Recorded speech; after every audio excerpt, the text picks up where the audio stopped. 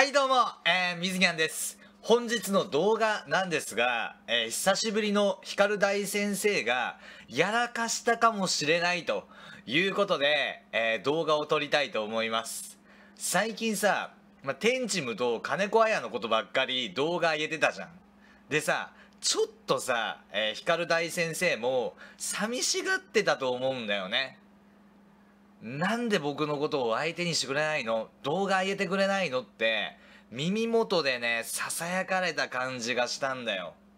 でまあ光のことさウイルスを99%ブロックするっていう体でインフルブロックのど飴を紹介していた時以来で、えー取り上げようかなって、えー今日は思いました。で何があったのかをね簡単に説明をすると光、まあ、最近すごくね調子がいいんだよね。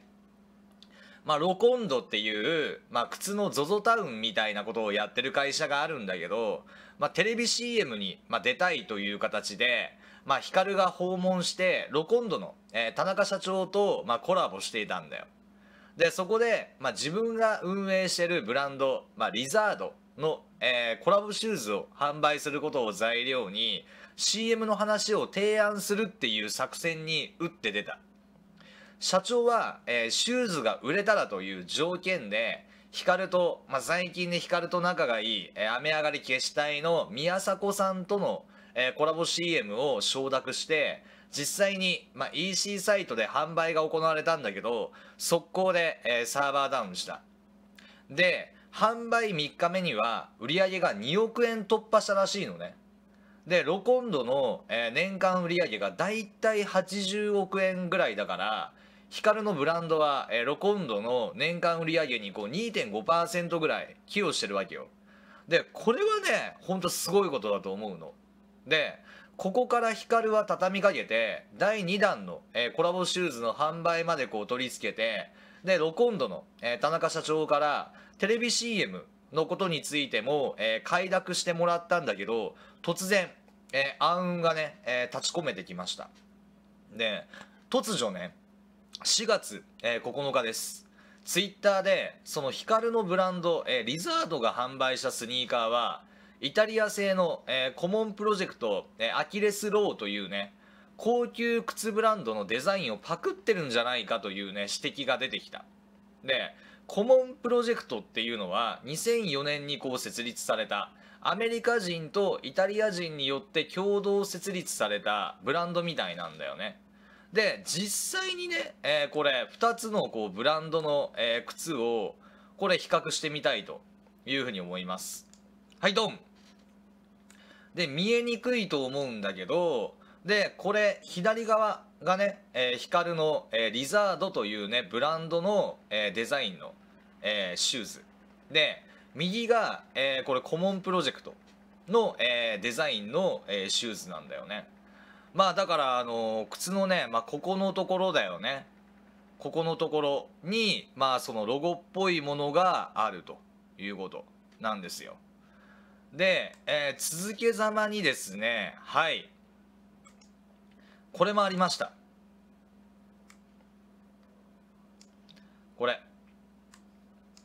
えーアウトソールだね。これ靴の、えーアウトソール。そこの部分だね。でこれ左が、えーヒカルの、えー ReZARD の、えースニーカー。で右が、えー Common Project Achilles Low の、えーこれスニーカーの、えーアウトソールなんだよ。でちなみになんだけどねこれ調べてみたんだけどそのヒカルのブランドこう ReZARD は中国製みたいなんだよ。でコモンプロジェクトは、えーイタリア製なんだよね。だからまあ工場が一緒とか、まあ、ありえないであろうと。いうような、まあ、話だったりとか、まあ、するんですよ。でまあそのこれがね今ちょっと、まあ、一部のところで、えー物議をね、まあ、醸して、まあ、いるんだけれども、まあ、実際ね、まあ、僕こう素人目で、まあ、僕靴に関しては、まあ、全然知らないので、まあ、素人目で、まあ、見るけれども確かに、まあ、似てるっちゃ、まあ、似てるんだよね。似てるんだけれどもこれが純粋にこれパクリかどうかに関しては俺は分からないただやっぱりこう靴が、まあ、好きな人にとってはちょっとこれなんか似てない、えー、パクリじゃないみたいな、えー、話に、まあ、なってるみたいなんだよね。っていうことでまあちょっとねあのこれ物議を醸してるっていう感じ。まあでもさやっぱさこういうなんかそのデザインっていうものはさまあそのまあありふれたっていう言い方をしたらさまあブランドにこう失礼だと思うけどまあありふれたねこれデザインだと、まあ、思うんですよ。うん、だからまあたまたまねその光であったりとかそのリザードのそのねデザイナーのアイデアとこのコモンプロジェクトのデザイナーのそのアイデアが一致したかもはしれないんだよね。でなんだかんだであの靴のね、まあ、この表面というかのところを見てみたらまあわかるけれどもねまあここのこう紐のところとかはまあやっぱり若干まあ似てはいないとは思うんだよ。似てはいないところがあると思う。ね。特にこう白いやつとかねこう特にそうだと思うんだけどだからまあこれね一概にそのパクリと言えないのもまあそうなんだけれどもただやっぱりこうねあのデザインがその似てるっちゃ似てるところはあるかなっていうまあ感じです。はい。だからまあこんなことがねまああったりとかまあしたわけなんだけれどもまあそのね光大先生せっかくねまあそのロコンドのテレビ CM がまあその決まったかもしれないわけですよ。ね。まあ、ロコンドって一応まあ上場企業でございますから、まあ、上場企業のね CM これ過去にはねデヴィ夫人がね出てましたけど。でデヴィ夫人、えー、第2弾、えー、光ね。第2弾か知らないけどデヴィ夫人。そして光る雨上がり消したいの宮迫さん。なんだけれどもしかし、ね、こういう指摘が、えー、出てきたということはちょっとこれは危ういんじゃないかなというふうにえー、思ったりとか、まあ、してるんだよね。でこれまあその指摘して指摘した人のまあ意見によるとですねまあこんな感じなんですよ。うん。こんなことをねおっしゃっているわけですよ。で光のスニーカーと、えー、コモンを、えー、並べて合わせてみたら形が同一ですよということも言ってるんだよね。まあだから多分、まあ、このツイートをした人はめちゃめちゃ靴が大好きなんだと思う。だからそのいろんなメーカーのその靴をね、まあ、こうやって、えー、見てたりとか、まあ、していてでそこで「あれ?」みたいな「ちょっとおかしいんじゃないの?」みたいなそのね、えー、話とかも、まあ、やっぱしてるねあの見たいっちゃ見たいと。でまあもちろんですね、まあ、あのこれ法律上どうなるのかっていうことになるとまあその衣装権のね、えー、侵害に当たるかどうかっていうところだと思うの。ね。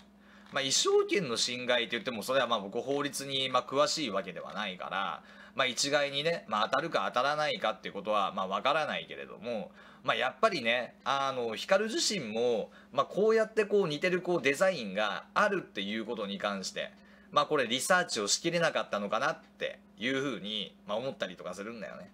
でやっぱりねあのアパレルってこれよくある話だったりとかするんですよ。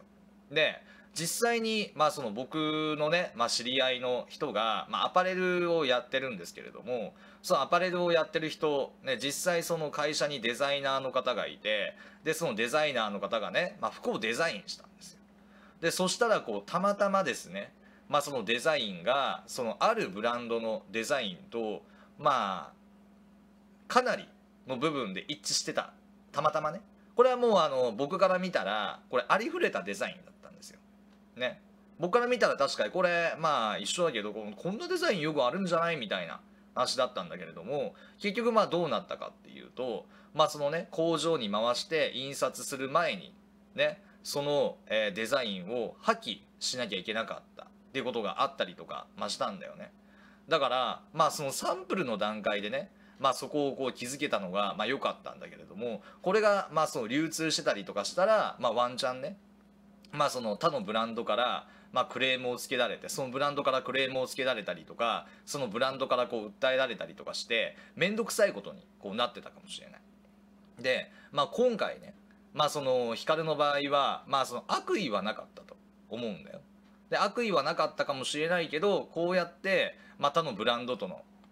まあ、一致点がこう出てきたっていうことは、まあ、今後ねもしかしたらね、えー、大変なことに巻き込まれることもあるんじゃないかなというふうに、えー、僕自身はちょっとね思って見てます。で光大先生が、まあ、こうやってね、えー、大変なことに巻き込まれたらそれはまたね、えー、僕自身も、えー、こうやって動画のネタになるしでまたね1本動画それでこう出せるからまあ嬉しいこっちゃ嬉しいことなんだけれどもまあ実際ね、まあ、この件に関しては、まあ、グレーな部分が、まあ、多く占めるのでまあ、僕自身のね、まあ、動画もね、えー、いろんなコメントとかが、まあ、あの書かれるとは思うけれどもあくまで光大先生ね今こうやって波にこう乗ってるけれどもこうやって落とし穴があってそれにはまりそうだねっていうようなお話で、まあ、皆さん、えー、聞いてもらえたら嬉しいです、えー、どうでしょうか、えー、久しぶりのですね光大先生の、え小ネタでございましたけれども皆さん楽しんでいただけませんしたでしょうか？まあ、よかったらですね、えー、この動画見ていいと思った方、えー、グッドボタンと、あとチャンネル登録をぜひともよろしくお願いします。